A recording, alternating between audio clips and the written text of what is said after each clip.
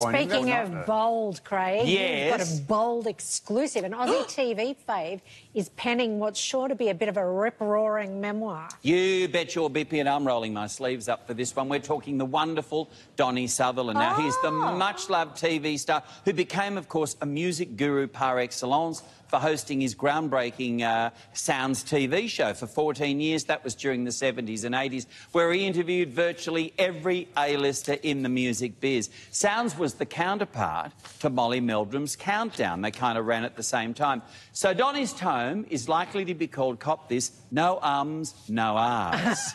mm -hmm. oh. And he will dish on his long-time rivalry with the one and only Molly.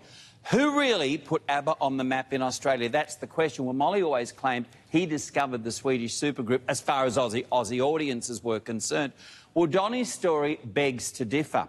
Now, the book is going to be crammed with outrageous tales, and I've got to say some really sad ones. You realise Donnie was the last person to interview the great Johnny O'Keefe oh. before he died. So we go from Sir Elton John to Sir Paul McCartney, John Lennon, Joe Cocker, who almost vomited all over Donnie. Oh. It's all there between these huge covers, plus Donnie's outrageous love life, something like 6,000 girlfriends, what? six fiancés. I am not making this up. Donnie has been up, he's been down, he's been broke at one point living in a caravan wow. with his dog Jet Black. They were eating, sharing a hamburger. No wonder he always looked so tired.